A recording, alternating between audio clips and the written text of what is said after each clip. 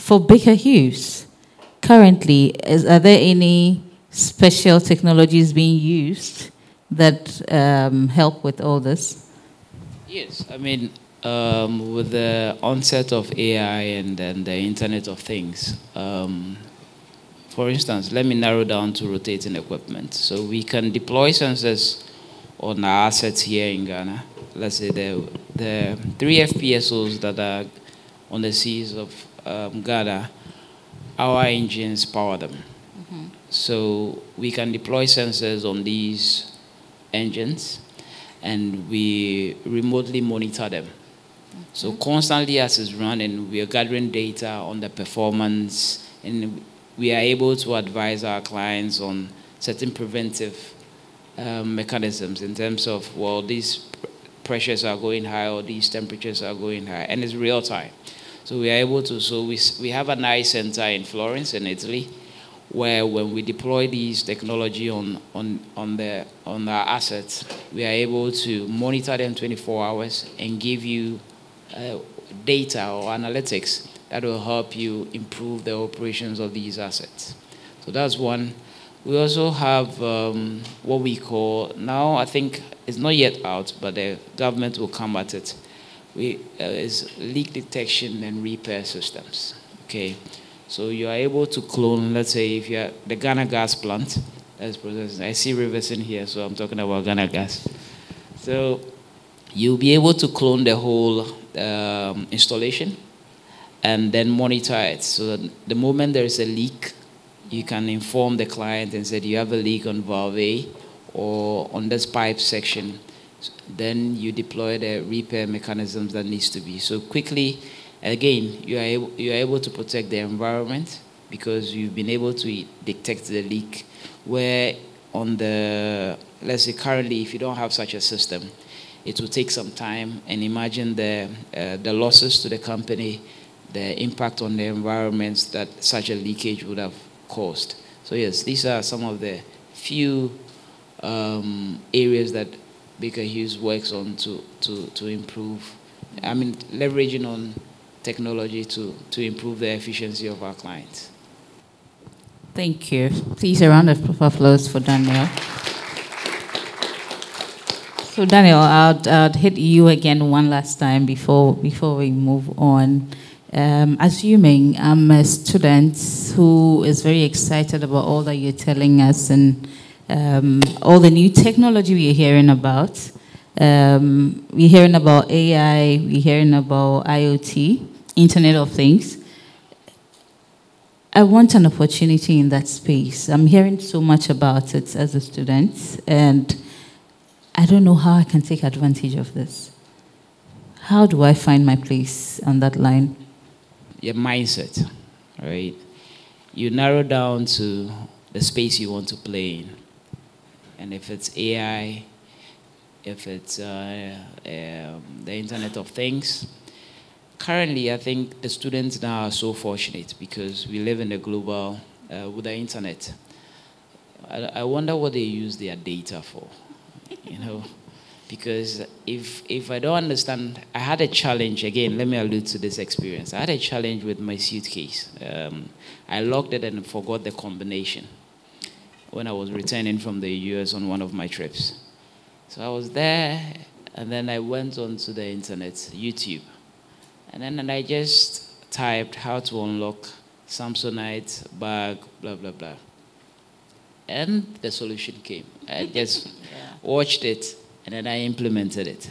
And it worked. And I was so happy because I haven't finished packing, and now the luggage is locked. So, as trivial as this uh, example is, if you want to get into a space, the internet is there. Read on it, spend time, read on it, identify. If you read on it, most of the material you find there are maybe produced from the West or developed countries. Then you narrow down definitely you find somebody locally. I mean, how you were able to find me? I, be, I believe using the internet. So then you narrow down to the person, find ways and means, and go on the social media space, find somebody who definitely know somebody in that space. Then you try and understand how that sp space works. I think what the students of today don't do much is trying to understand how systems work. Okay? Spend time to understand how systems work. And within that system, find a space where to position yourself. Because if you look at, I, I use that a lot when I'm interviewing um, potential employees. You need to narrow down to the impact you want to give. Okay, in the I mean, if you find yourself in the, a multinational like I am, which will have over 50,000 employees, you can get lost and not know what you bring to the table. And that, that is doomed for you because each and every person has a role to play. So if you identify what you can bring, it will be easier to, to, to, to chart a path in, in, in, in that career space that you, you choose. Thank you. Thank you, Daniel. Um, I'm back here to Peter. Peter, from all that uh, Daniel is telling us, it seems it's all up to us. The opportunities are out there. I mean, research, find it, identify where you want to be. But in the EV space, do you think there are prospects um, in the near future locally that can be considered? Um, there's really nothing new under the sun. Mm -hmm. This, all of the technology is being, is being developed, is being perfected elsewhere, but is being done from their context, from the challenges that they face. In their markets. So all we need to do is to basically partner, um, work with these other institutions or uh, entities to basically develop solutions for us using existing technology. Because if you try to develop something from scratch, the resources that it takes, in most cases, we don't have, and where we have it, we may lack the, the local expertise uh, to be able to get it to that level in, in the amount of time that it requires.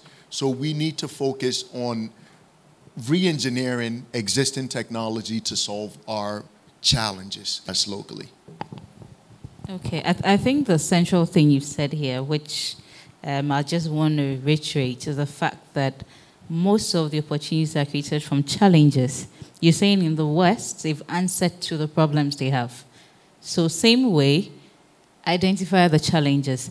Um, in our developing world, there are just too many challenges. That means there's, there are just too many business opportunities, right? Yes, but we, we have a propensity to just take something from there and want to dump it here or that just doesn't work. go buy something and come sell it here. Mm-hmm. And that is it's, it's the the easy thing to do, but it's it's short sighted. Because what happens is we end up not benefiting from what it truly what the all of the benefits that come from that product could be. So we need to look at how we can re just you're going to take the technology and you're going to bring it here. Localize but it. Yeah, local, localize the solution. As simple as that. So in doing that, you create sectors. You build like we build our own repair shops. We do things as opposed to if we just bring the car without thinking about everything else, when the car breaks down, then what? So th these are the things that we, we have to, to look at um, as part of our finding solutions, um, at, least as it pertains to the sector that I, I'm in.